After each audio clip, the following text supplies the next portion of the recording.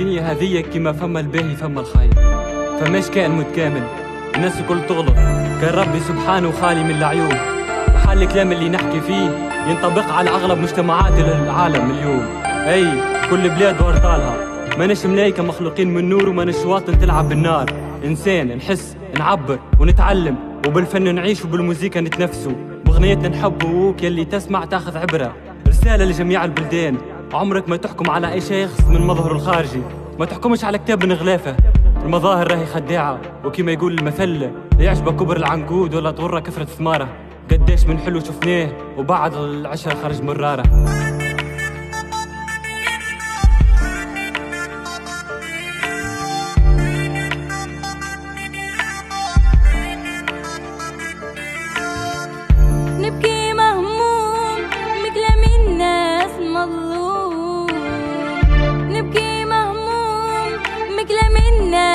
مظلوم.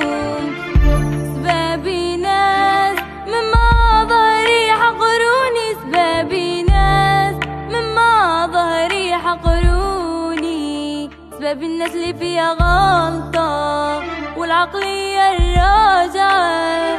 سبب الناس اللي فيها غلطة والعقلية الراجعة.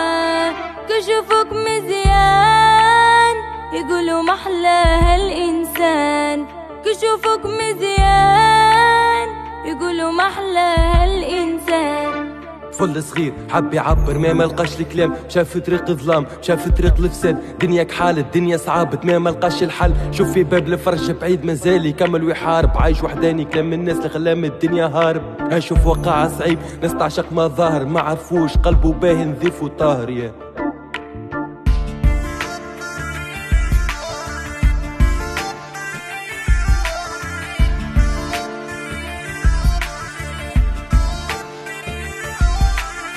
لغرك زين وجه في المراية يا مناسكي الشمس ضوايا. لغرك زين وجه في المراية يا مناسكي الشمس ضوايا. ما ينفع كان زين القلوب وحسن النية.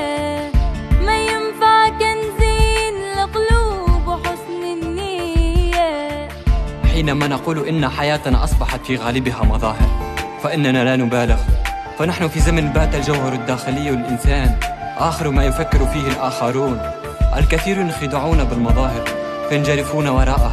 إن الجمال جمال الروح والأخلاق الجمال هو ما بداخلنا. كنا بشر ما فماش فرق بيني وبينك. لو كانك أغني ولو كان فقير كان أنا نرقد فوق حجرة وانت تبات فوق سرير. ولو كان ركبت سيارة ولا ملكت عمارة ولو كانت حوايج مقطعة وحوايجك حرير يجمعنا في الآخر نفس المصير. اتق الله كي لا تحاسب حسابا عصم.